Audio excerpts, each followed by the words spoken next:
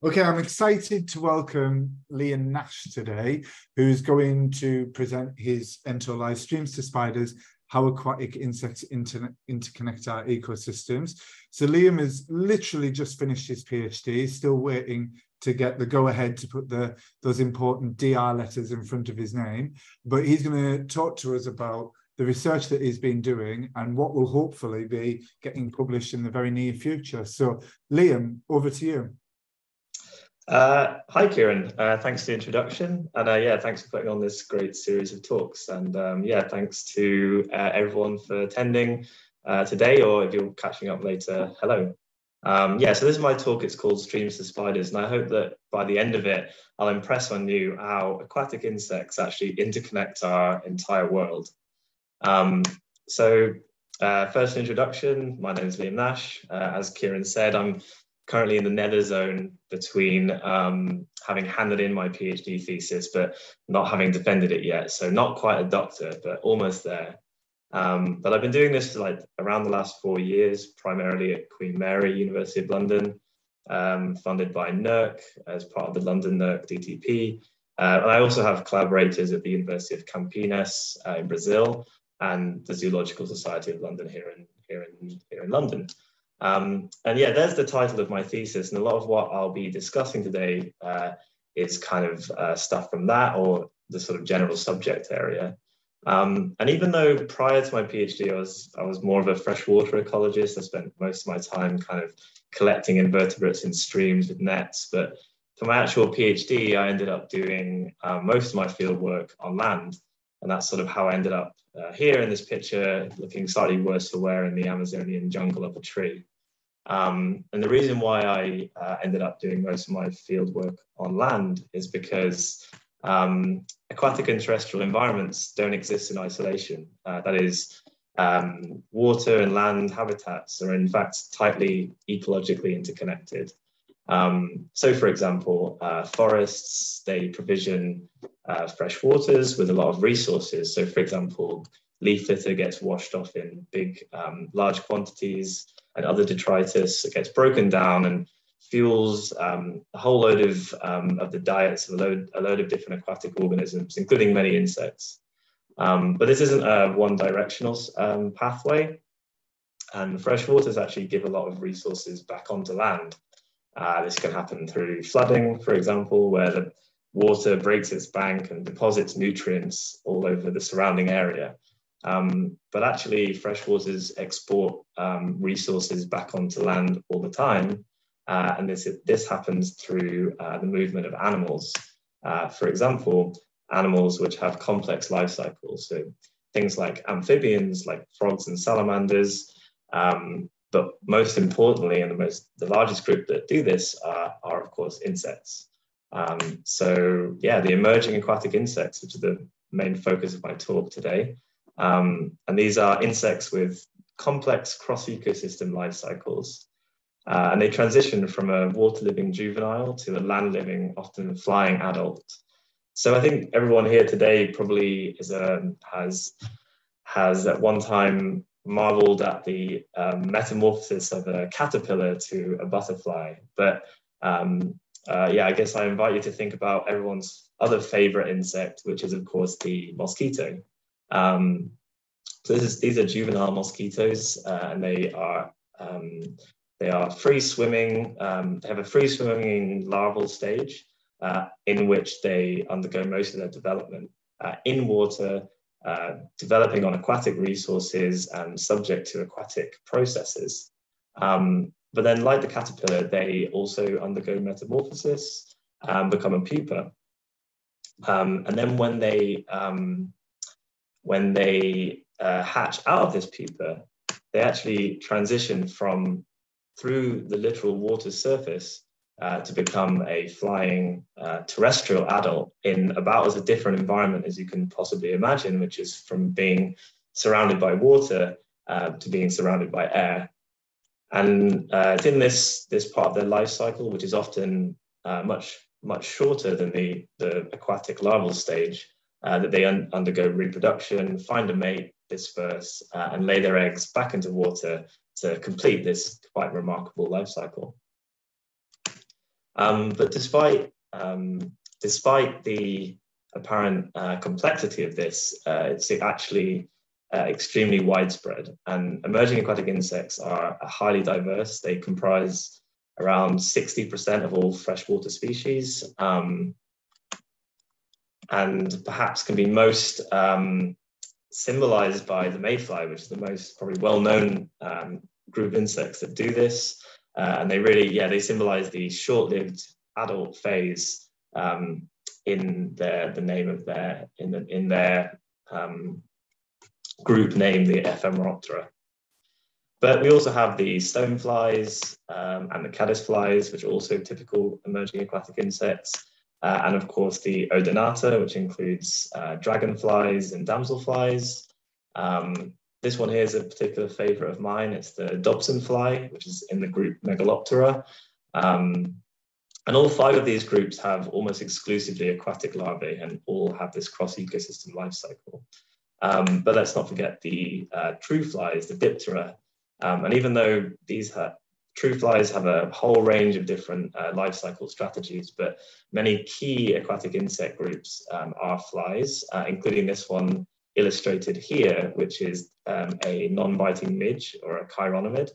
And the chironomids also um, really exemplify how um, aquatic, emerging aquatic insects, not just diverse, but also widespread, because chironomids can be found in pretty much any freshwater environment that uh, you can imagine um, uh, on every single continent, including uh, Antarctica. So this is the Antarctic midge, which holds the title as the um, largest non-marine animal on the entire uh, Antarctic continent um, which is testament to the, the yeah, sort of cosmopolitan distribution of these insects. Um, but there are other flies as well, for example, some hoverflies, um, and of course the mosquito, but also other biting flies such as black flies, and a number of different uh, other fly families. Um, but this cross ecosystem life cycle is also found in beetles, true bugs, uh, lacewings, scorpion flies, uh, even some moths and parasitoid wasps, which uh, lay their lay their um, eggs inside uh, the aquatic larval stage of some of these insects, um, and then hatch out into the terrestrial environment via their bodies, which is pretty cool.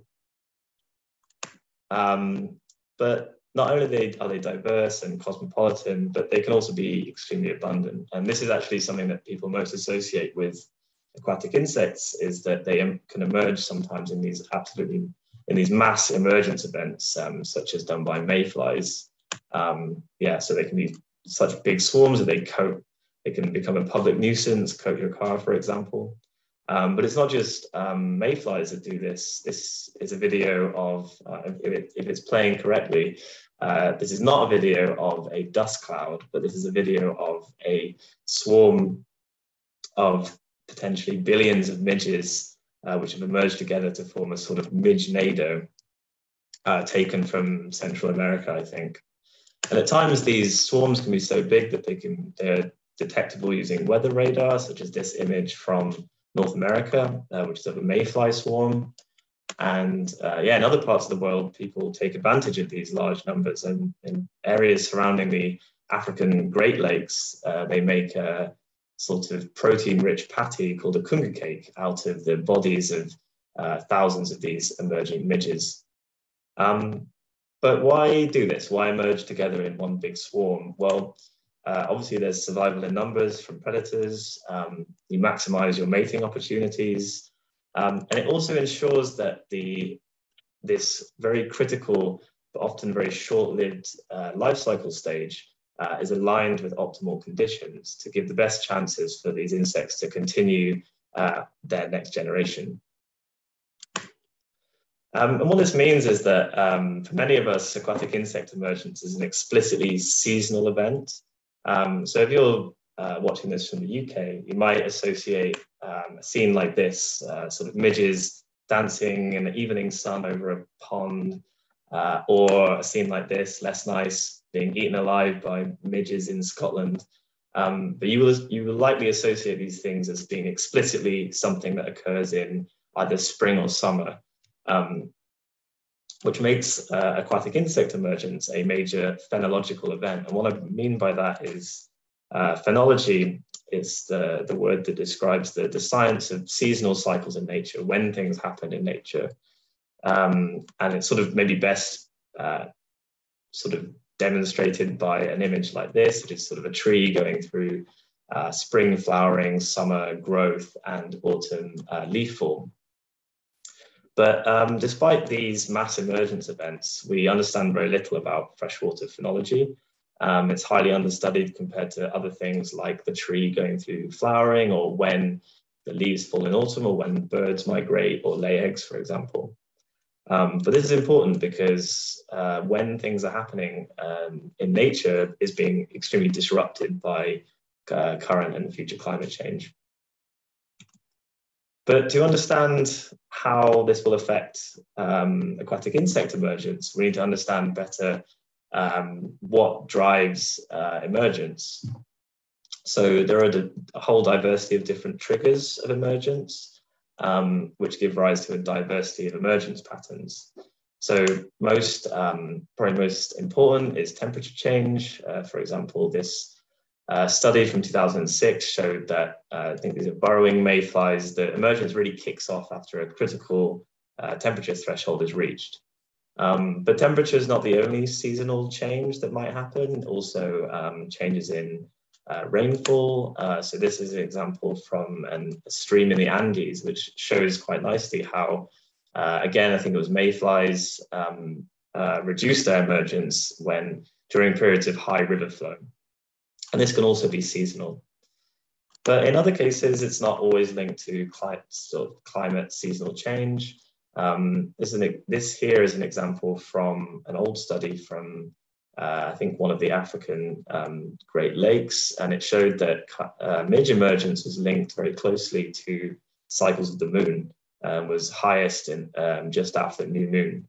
Um, but not all emergence is forms these kind of peaked rhythmic or seasonal distributions. And some of it can be apparently continuous or sporadic or erratic and not linked to any um, particular or obvious environmental drivers. Um, this uh, final figure here is from a tropical ecosystem. Um, so how do we make sense of this diversity? Uh, and are there any kind of systematic, um, does the, do, the, do these patterns vary in a sort of systematic way around the planet? Uh, well, this is actually something that's been um, thought about for a while now. Um, and hypotheses on global patterns of emergence date back almost 60 years. Uh, this is a picture from a guy called Philip Corbet, who wrote a paper in 1964, which is uh, already starting to discuss some of these ideas. Um, there's a picture of him, he looks like a proper old school ecologist.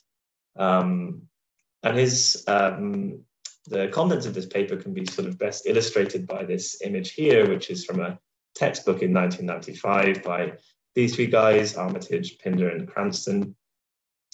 Um, and I think this illustrates quite nicely how um, it's hypothesized that emergence patterns have a kind of um, they follow a global pattern from the high north, the high the poles um, to the equator, where emergence that's um, towards the Arctic uh, is very peaked, and emergence happens in these mass emergence events. And as you go further south towards the to the equator, you, it sort of um, it becomes lower and longer uh, until you get to the tropics, where it starts to become decoupled from any kind of seasonal change and starts to cycle with something else. In this case, the moon. Um, but uh, while these ideas are largely assumed um, and they remained uh, mostly hypothetical. So for the first uh, chapter of my PhD, we wanted to kind of find some quantitative support for some of these ideas and also determine any geographical climatic drivers of these patterns.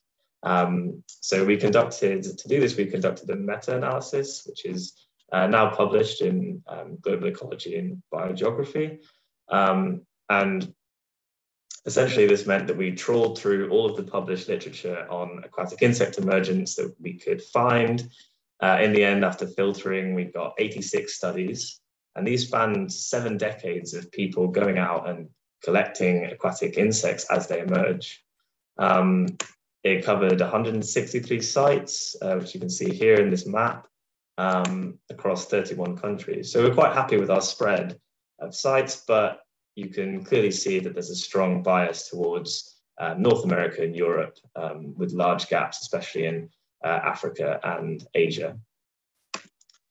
So uh, throughout these studies, the most commonly used methods to count emerging insects uh, or sample emerging insects are emergence traps, which are sort of floating, often pyramidal nets, which essentially catch the insects at the moment that they leave the water.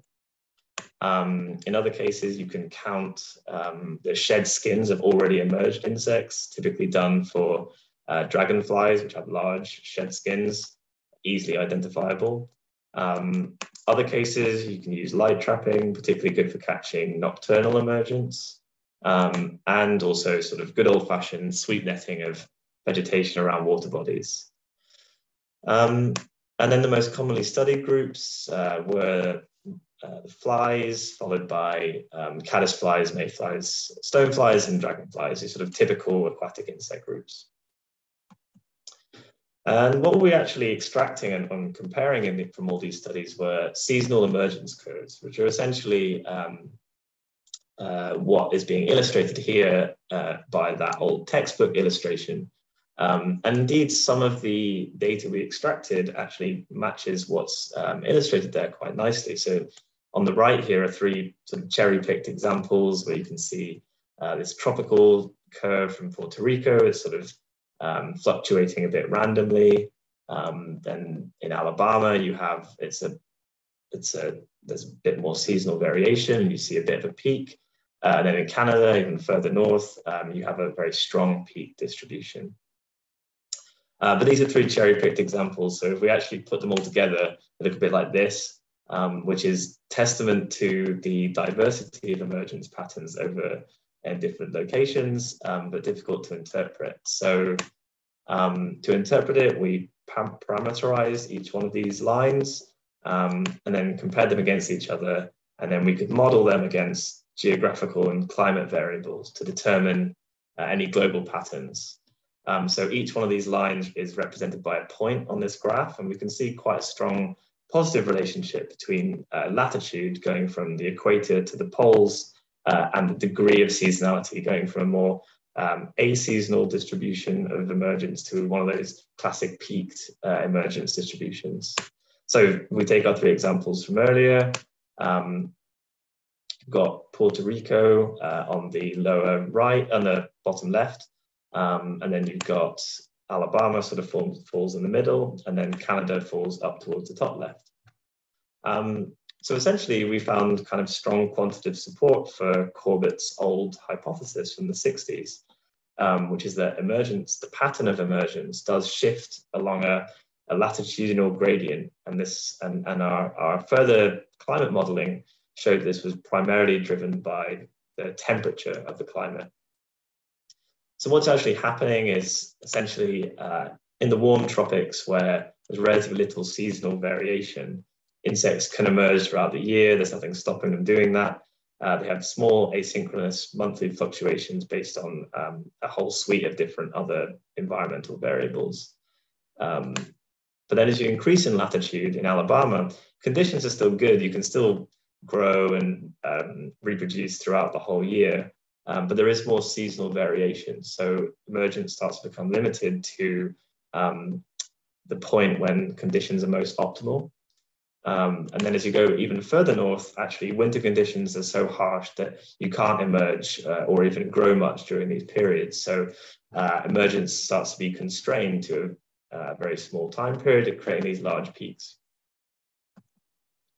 So uh, why is this all important? Well, um, aside from sort of supporting an old bearded ecologist's uh, research from the 60s, um, as I said, changing phenology is one of the most significant ecological responses to climate change. So when things are happening uh, in, in, in, the, in the year are being disrupted by changing uh, weather conditions and, and climate.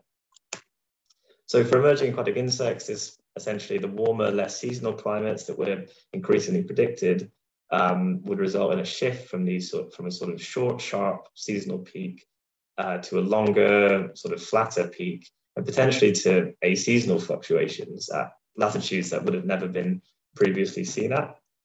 And while this is undoubtedly going to affect the aquatic insects themselves, um, will have wider impacts on other species which are seasonally reliant on them. And that's because aquatic insects, as I said, are, uh, they're, they're diverse, they're widespread, they're abundant, but they're also super important.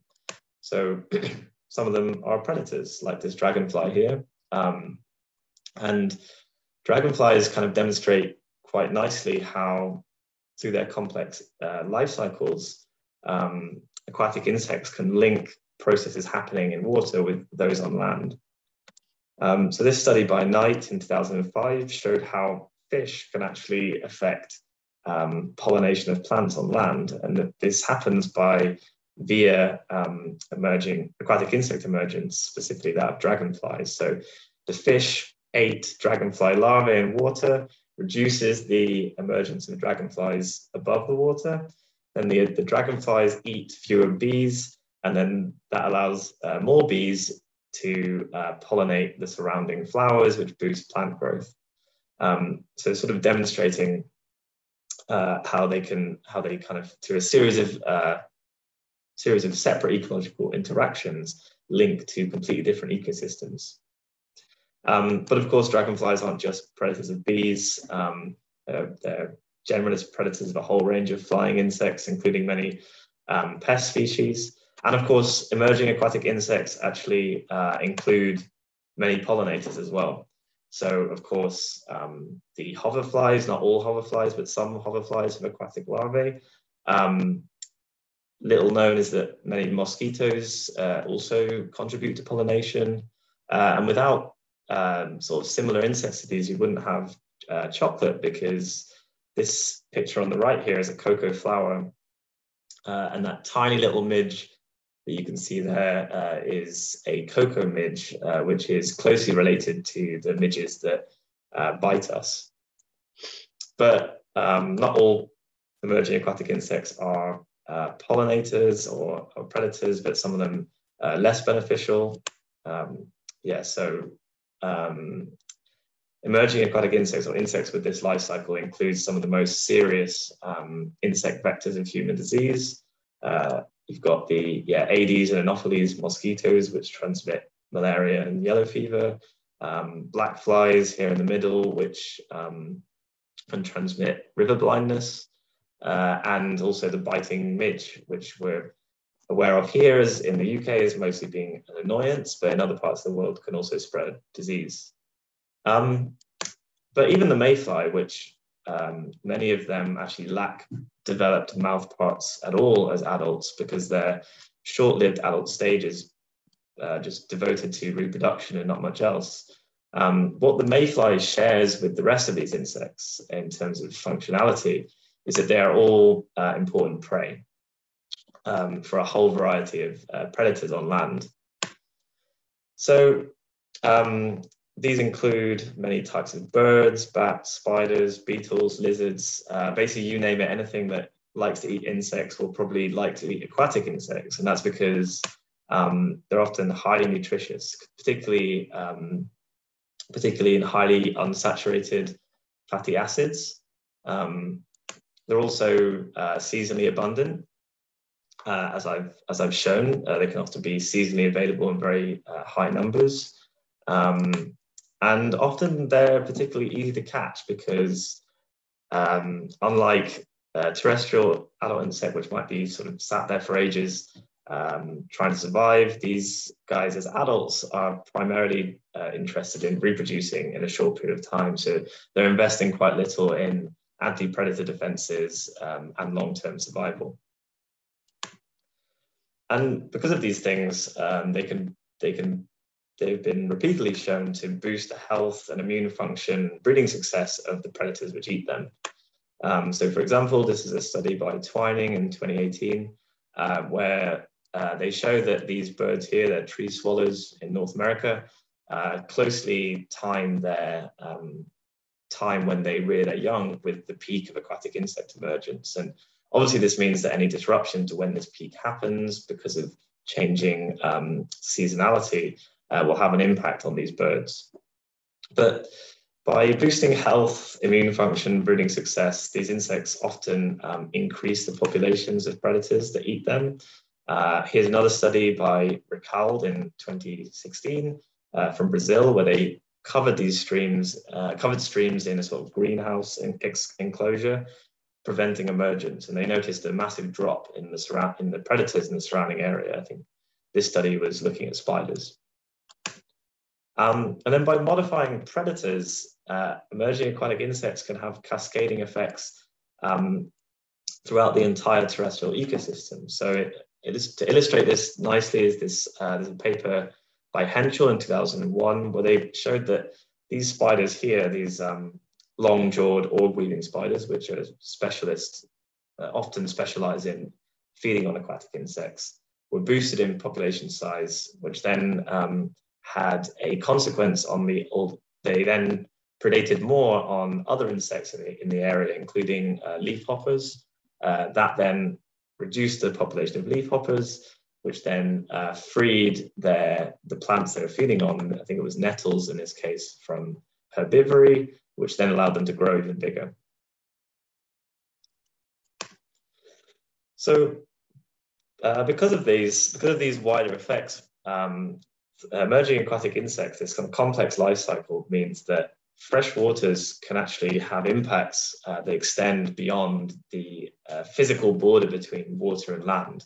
Uh, so this is a paper in 2014 by Muehlbauer where they kind of asked how wide is a stream really from a biological point of view? Um, and they sort of tracked, they looked at lots of studies and tracked these insects uh, inland and found that the biological stream signature, as they called it, uh, extends well inland, and this is through the movement of these insects. Um, and they they they found that the majority of these insect, insects don't go that far and uh, are deposited within the first few meters of the of the river's edge. Um, I mean, this makes sense. They they want to oviposit back into the fresh into fresh water to complete their life cycles, so they don't typically want to go that far away from it. But some of them do, and some of them have been found uh, times hundreds of meters away from any kind of aquatic source. So this kind of leads me on to my uh, streams to spiders part of my PhD, um, where we wanted to expand on this and look at how far from water are aquatic insects actually being consumed by predators, um, and what kind of impact are they having on the predators and on the environment around them.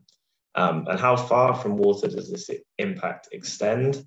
Um, uh, for example, a mayfly may fly for 100 meters or so, but when it lands, is it actually being eaten? Is it actually having an effect?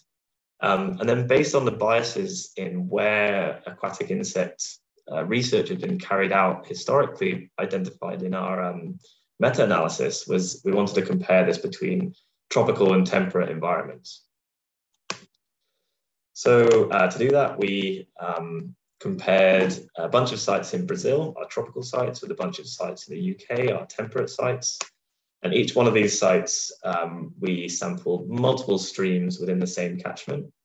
And at each one of these streams, we took a sort of 150 meter transect going from the stream into uh, an area of continuous forest. Um, so here's some pictures of two of the transect. One on, on, the, on the left here is one going from an Amazonian stream uh, and on the right is one being deployed in Wales. Um, and then along each one of these transects, we sampled the invertebrates at five points, uh, going from water to 150 meters uh, inland. And you can see here from these pictures, these are very different types of forests. You've got dense uh, Amazonian and Atlantic rainforest in Brazil to kind of more open um, coniferous and deciduous woodland in uh, the UK. Um, to then collect our invertebrates, we sort of use the high-tech uh, ecological sampling technique of uh, bagging vegetation uh, in bin bags and wrapping it up with tape. Um, here's here's um, some of my team looking chuffed with their uh, haul of vegetation. Um, and then we would take that uh, back to a lab or to a sorting area and go through it in a systematic way and collect every single uh, invertebrate that's living on this uh, vegetation. So we have a, an idea of the entire um, forest invertebrate community. So all in all, um, we, we ended up carting 280 kilograms of vegetation out of um, different forests. It ended up being a lot more than, we, than I thought. Um, and on this vegetation, we found over 11,000 uh, invertebrates uh, from across 475 different communities. And uh, yeah, invertebrates living up to their, um, to, to their diversity. We found 39 major invertebrate groups uh, living on the vegetation, including 20 insect orders and five arachnid orders. And um, importantly, 40% or around 40% of all of the individuals we, we captured were uh, spiders, which are key interceptors of aquatic insects. So how much aquatic insect prey were these spiders actually eating? Well, while I was being eaten by the aquatic insect prey, um, this is me after about two days uh, in the jungle, not looking too happy. Um, but yeah, we we used um, um, this method to work out the we used stable isotope analysis to work out what the spiders were actually eating. Um, and basically, to run through it quickly, you use a mass spectrometer to analyze the elemental composition of the spiders, and then use a some sort of fancy maths to compare that with um, water and land signatures. And you can sort of work out based on um, their tissues what they're eating. Um, and yeah, so the, the preliminary results from this, uh, as Kieran was saying, this is still just in my PhD and it's not, not published yet. Um, but preliminarily, we found that tropical spiders um, were consuming 27% uh, more aquatic insects than in the UK. Um, uh, and in both regions, this was obviously highest near water, which makes sense. That's where the insects are coming from. Uh, and it leveled off between 30 and 60 meters. But crucially, it didn't reach zero even by 150 meters, which kind of shows that these predators, these spiders, are still um, uh, get capturing these insects at quite a distance from water. So uh, yeah, the, to summarize our results, which are still uh, in review, um, linked to consuming this higher uh, amount of aquatic insect prey, uh, tropical spider communities, um, they had broader diets. They were consuming this alongside other uh, forms of, of insects. Um, they were more populous. They had higher populations near water. Um, and they had unique, um, a unique species composition near water where they're incorporating most of these insects into their diet. Um, and then there was also a potential knock-on effect because there was um, there, the, the rest of the terrestrial community was lower near water, uh, particularly for herbivores, um, which are there, the alternative prey for these spiders. So what this kind of means and what we, what we interpret from this is that the influence of aquatic environments is extending beyond um, ecosystem boundaries, and this is happening via emerging aquatic insects. Um, we found most consistently that tropical spiders were both more reliant on and impacted by aquatic insect resources in their diet. And what this suggests is that tropical forests are more integrated um, with their adjacent aquatic ecosystems than in the UK. Um, and this could potentially make them more vulnerable from any anything that happens to the supply of this resource. So anything that happens to aquatic insects uh, could have a knock-on effect on these spiders. Um, so are emerging aquatic insects under threat? Well, freshwater biodiversity is in crisis. Um, this figure from WWF's Living Planet report, the most recent one, uh, shows that by their uh, index, freshwater biodiversity has decreased by over 80%. And this was by far the worst environment, uh, the, the, the worst biome that they tested.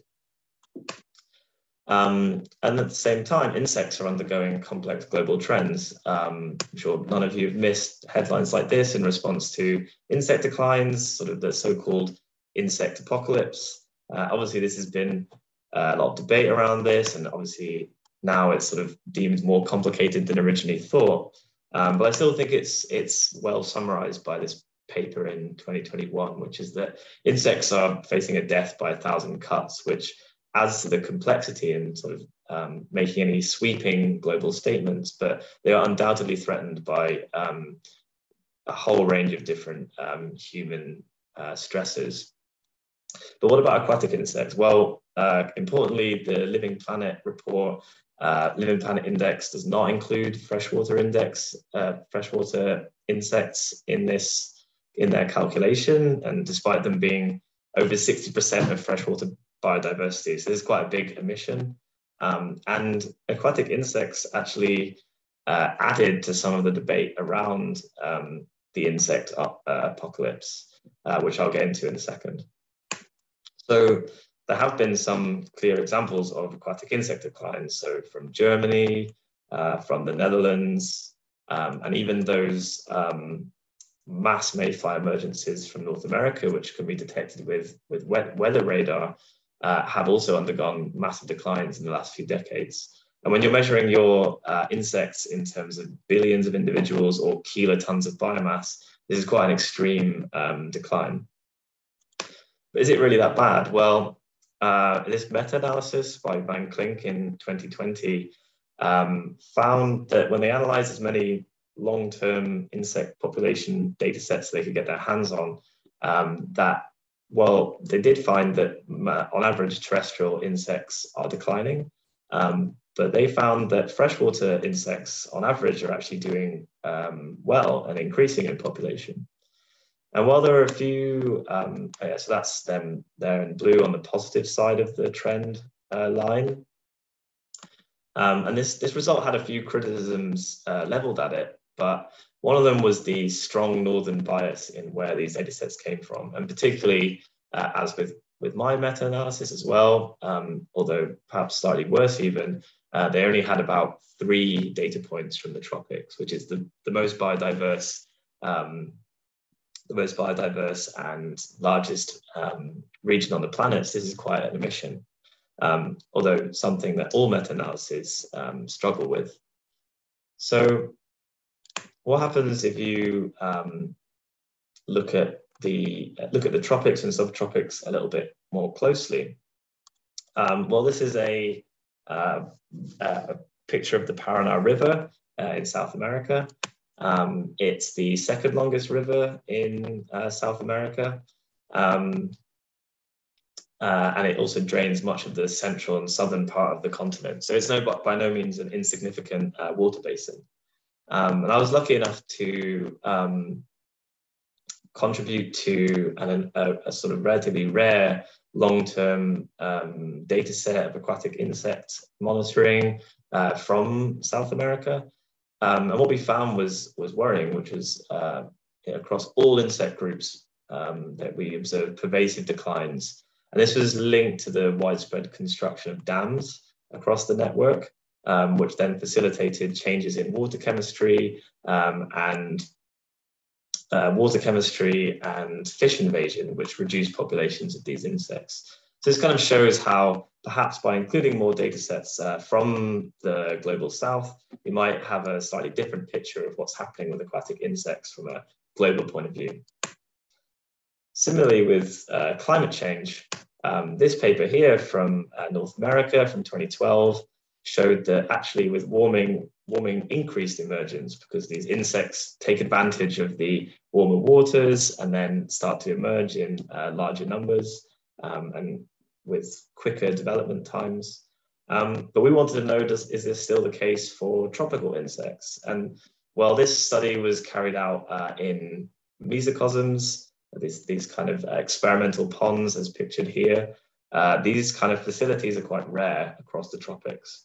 Uh, so we actually used, ended up using this other really cool uh, model system, which is um, the tiny micro ecosystems held within uh, a tank bromeliad, which is a plant which holds a pool of water within its leaves. And within this pool of water is a whole range of different organisms, including many uh, emerging aquatic insects. Um, and like the mesocosm study, we uh, warmed them up to different temperatures experimentally, as you can see here, and wrap them up in a uh, in, in an emergence trap so we could capture everything that was coming out of the water. And what we found was, uh, unlike in the temperate study, that uh, across all of our groups in terms of biomass and abundance, or across most groups of emerging insects, uh, we observed um, quite sharp declines, uh, even with small degrees of warming. Um, and what we discuss in our paper, which is um, out in the Journal of Animal Ecology, is that um, um, warming more negatively impacted emergence in the tropics.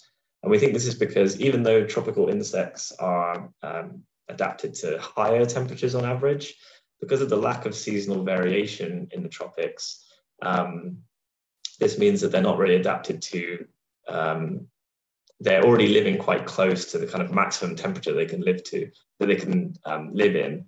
Uh, so they're essentially more vulnerable to any kind of change uh, in temperature in their environment.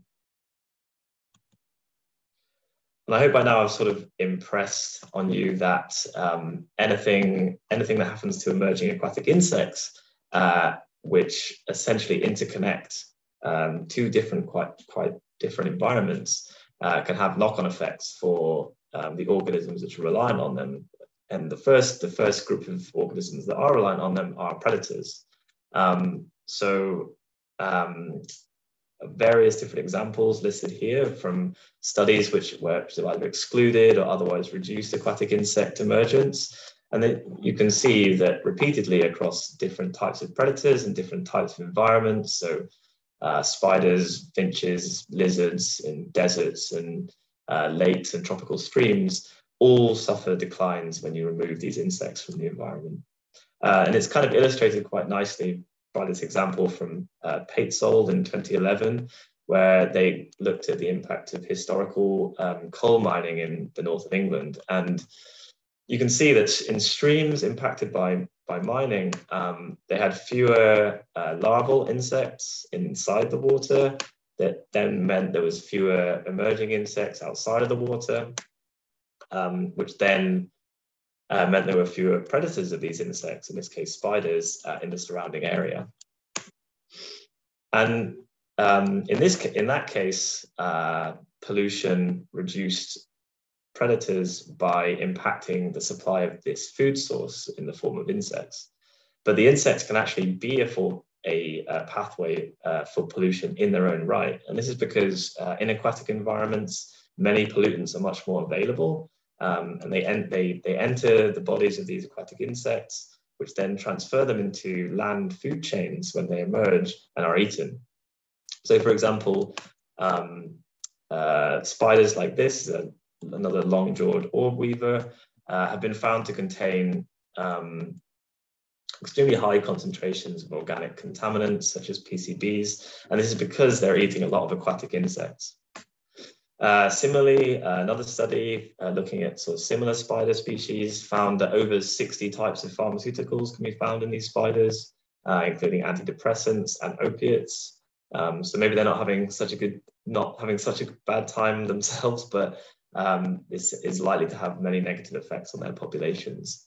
Um, it's not just spiders. Um, this study found that insectivorous birds, uh, which ate large amounts of aquatic insects had higher loads of heavy metals such as uh, mercury, but there's other studies which have seen this happening with lead as well, which are definitely not going to be good for these birds.